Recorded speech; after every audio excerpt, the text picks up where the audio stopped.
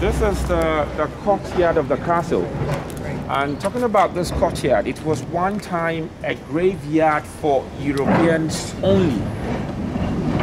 Europeans only. But the interesting thing is, this is the only Ghanaian, or let's say the only African the Europeans buried among them.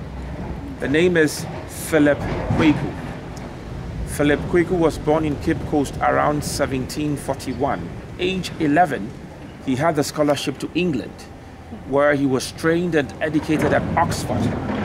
1765, he was made a priest in London. He became the first African to become a priest for the Anglican Church. He returned as a teacher, a missionary, and a reverend minister. So listen to this part very well. Reverend Philip Quaque, the African minister, returned to this place at the peak of the transatlantic slave trade. He returned at the same time that they kept people in the dungeons.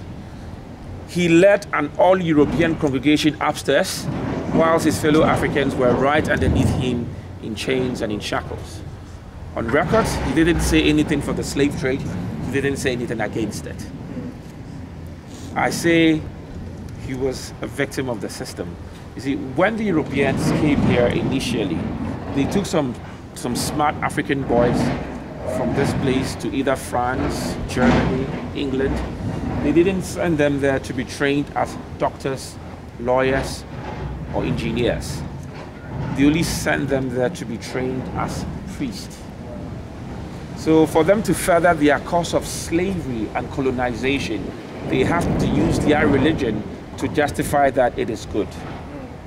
There's nothing bad about it. So now, again, also, they used religion to show us, the Africans, how supreme, superior, and powerful the white man was than the black man.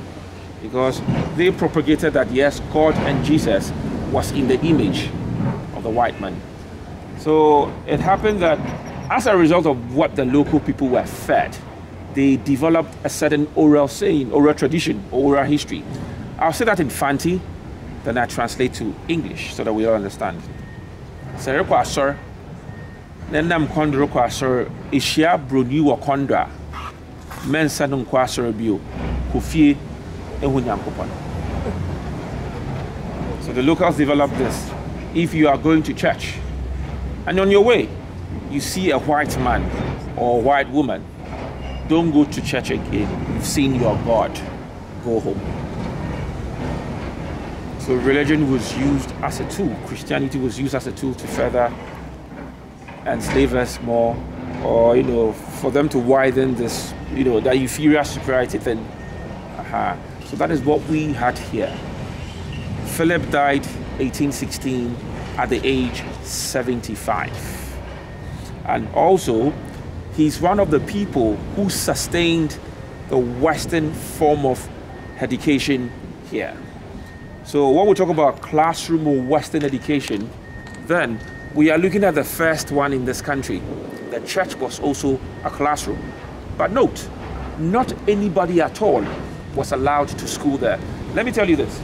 It wasn't in the minds of the Europeans to give the Africans the Western form of education. It happened by accident because the Europeans intermarried with some of the local people here and had kids with them. So the Europeans realized that there was that need for their kids to be educated. So for you to have the chance of attending the school, first of all, this is the criteria.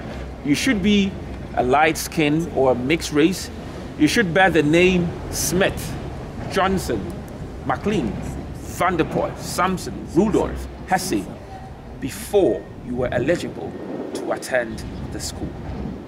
Later, the missionaries also wanted to further the cause of colonization and Christianity. So they started schools. So it became a school for all because through the education system, then your mentality about yourself and your way of living before they came will now change or switch. So that is what we had here. So Western education in this country started right here in this building and later they built schools outside this place. So Coast has the first primary, junior high school and senior high schools in the country. And still has more. That's yes, so that's more. Yeah. And I think in Ghana, everybody would want to come to Cape Coast. Exactly. With that.